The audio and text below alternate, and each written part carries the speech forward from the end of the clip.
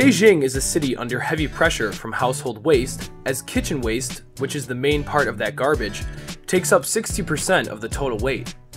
Now, communities are starting to practice waste treatment. Since 2006, Xishan community has practiced waste classification and treatment. All kitchen waste is turned into fertilizer after anaerobic treatment, and 20% of the total weight is recycled for reuse. The waste is reduced to 30% after treatment, now, more than 600 families in Xishan community take part in the waste treatment, and the accuracy of waste classification is 65%. Waste separation at home is only the first step in treatment. People need to roughly divide all refuse into two parts, kitchen waste and others. In a regular community, there is only one rubbish bin, but in Xishan, there are four bins for every building. People separate recoverable garbage, unrecoverable garbage, kitchen waste, and plastics into different bins. After that, workers of the community will handle the rest.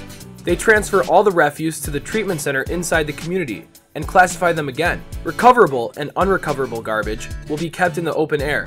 Kitchen waste will go through a high temperature processing using special equipment. Kitchen waste, which is turned into carbohydrates and nitrogen, is then discharged into the air. Only fertilizer is left at the end, and it will be used to nourish the green fields in the community. Recoverable and unrecoverable garbage will be reclassified into papers, bottles, and so on. The community signed a contract with a recycling company, which will buy garbage from Xishan Community. In the future, Vanke Property, the management company for Xishan Community, will add a refuse treatment system and plan in all their new communities. This experience in kitchen waste treatment will also be extended to the whole city of Beijing.